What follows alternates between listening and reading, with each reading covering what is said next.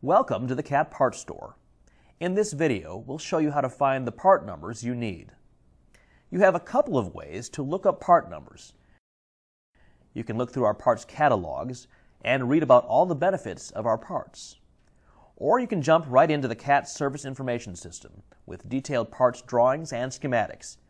That's what this video will focus on. This is the main menu of the Service Information System. To get back to your parts list in Parts Store, use the pull-down menu in the upper right. Let's get started. We'll enter the full serial number of a 420E backhoe loader. Using a full serial number simplifies the search for parts. If you've already added machines to the system, you can select one from the drop-down menu, or type a serial number manually. Let's say we're looking for a replacement step on the battery box. A great way to search is to break the machine into major components. Click on Systems and Components. Select Frame and Body, and then the battery box group.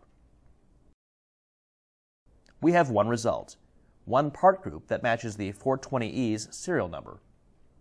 Click on it. Here are all the parts in the group. We just need the step.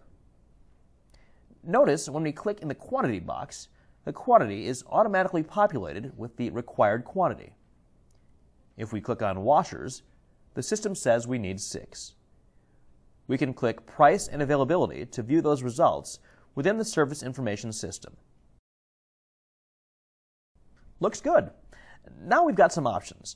We can click Order Parts, which sends us back to the parts list on Parts Store to finish the order, or Add to Order List to keep shopping within the Service Information System.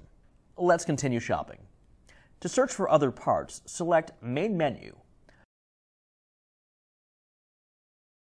Our 420E needs a new air filter. This time, let's do a filter search. The filter search shows all the filters on the machine by system or component. Let's look at the basic air cleaner group in our air inlet and exhaust system. There are all the parts in the basic air cleaner group. We want the primary filter. Click the quantity box. We've got everything we need, so click Order Parts and we return back to the parts list on Parts Store and can click Next to see price and availability and order the parts. Another great way to look for parts is using the As Shipped Product search. It finds all the parts on your machine as it was shipped from the factory. Let's enter the serial number for another backhoe loader. This one is a 420D. And clip As Shipped Product. We need a replacement seatbelt for our 420D, so select the seatbelt group. We could order the entire group or some individual piece parts. Let's get the group. Again, I'd select Order Parts to go back to Parts Store or Add to Order List to continue shopping. Here's something to keep in mind if you don't find anything in a particular search. Click to Unfilter to show all available parts options for machines with the same serial number range. You can also do a simple parts search. Just plug in a keyword or part number. Or you might want to do a search for remanufactured parts. Selecting Reman Search shows you all the available reman parts for your machine. And there it is. Still not sure what the right part number is?